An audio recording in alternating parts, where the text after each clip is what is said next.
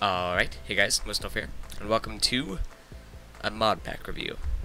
Now this is going to be a fun little video, because depending on when you're watching this, if it's when this is freshly uploaded, we're starting a new uh, season of the server this week. We're not playing the Direwolf 20 mod, but instead we're going through this mod showcase of Regrowth.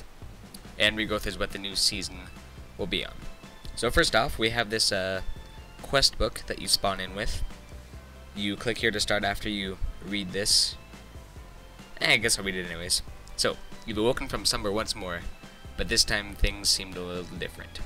The world itself appears dead around you, a wasteland stretching off into the distance, dotted by the skeletons of trees accompanied only by gray boulders. Ever more curiously, the world itself seems barren. Try as you might, you cannot find a single deposit of minerals underground, leaving you to wonder wh what to make of this world. As you look around, you wonder what it will take you to survive here, and how you might help the world recover. So the basis of regrowth is kind of starting your own place. So, lives, you need to make sure, well, for us anyways, we are not enabling hardcore. Um, if you did, the hardcore quest book would tell you how many lives you had left, but we're just not doing that for the re regrowth mod pack. So yeah, this is, it's technically called a hardcore quest book, but we're just going to be using it for the terms of quests and stuff like that. So as you go through here, you can click through and see all the stuff that you can do and all and you can unlock a whole bunch of chapters and that's how you progress in the world and that's how you know you what you need to do. So yeah the hardcore quest book and the lives aren't enabled and secondly the main way you get things wonder if I can find them is through magic crop seeds? Magical crops. So all these seeds are how you get your resources uh, you can see glowstone, obsidian, iron, gold. Pretty much seeds for anything that you need is here. Uh, you have souls and magical crops that will give you items and effects and just a whole bunch of stuff. And that's how you get resources and you plant stuff and do all that. Now, Normally, when you, when you start off in a world like this, you would just say, oh, I just need to punch a tree. But when you punch a tree, something happens. You get sticks, and this, excuse me, these dead wood planks. What the heck? Okay, I don't know what's happening in the chat, but I just kind of mined down the majority of this tree. Actually, I'm going to get this one too. I have no idea what it's doing. It doesn't make sense. Okay, so you can get sticks, deadwood planks, uh, wood ash, and some charcoal. By the way, I just gave gave me these so that I could uh, don't have to worry about food during this video. Okay, so go to your quest book and go to the first one, open it up, and go here. I have this. I need some more charcoal and some flint. So I'm gonna gather a couple trees from other places. But this is how you get flint. These slate blocks. And it'll just give you a bit of flint. And I'm going to mine this whole boulder, so we have plenty of flint to go through. And then I'll quick run up and grab some more charcoal, char charcoal, can't speak today, charcoal from the trees. And then I'll go back to the book. Okay, there we go. I actually need to eat a steak and you go here and then you say oh I have everything. So you claim your reward of a couple apples. Nah, I'll keep anyways.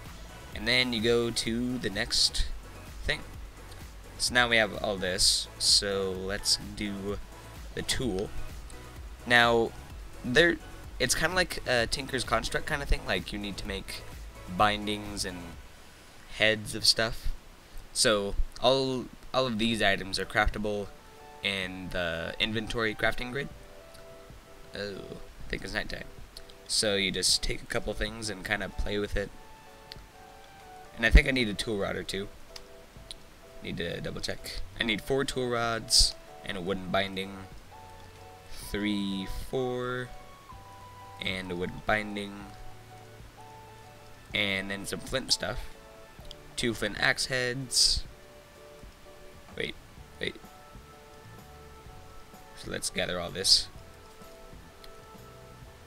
Two flint axe heads. A pickaxe head. Oops. I'm having di difficulties. And a shovel. Two shovels. And there we go. So now we can go back to our book. And now we go to the detection task. And we make all these items. And this this really is a lot like Tinker's Construct. And I like the basis where they were going with this. Wait. Hold on, I missed something. I just need one hatchet. And okay, I need one of everything. And then I take this and make a that. And then... Wait. That's not what it was supposed to happen. Okay, that was a lot harder than I thought it was. Uh, I don't know what happened here. I just kind of used everything. Oh, there it is. Okay, so now we've got the flint mattock. I'm just gonna throw that over there. That too. Okay, so we have the four basic tools. And I'll grab the sword blade. Oh wait, I need. I'll grab a handguard. And there we go. So, as you see here, we have collected two Mechanis things. And if you go back to here, you can see our reputation is going up in the world. And when we get to the... And when we get with Icebearer in the server, we'll open the party and we'll be going like that. And yeah, that's pretty much what I wanted to showcase in this video.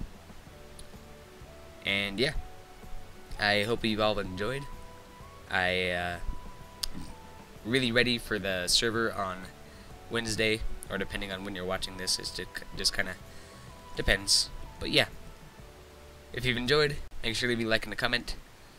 And if you're new to my channel, make sure that you subscribe. And I will see you all later.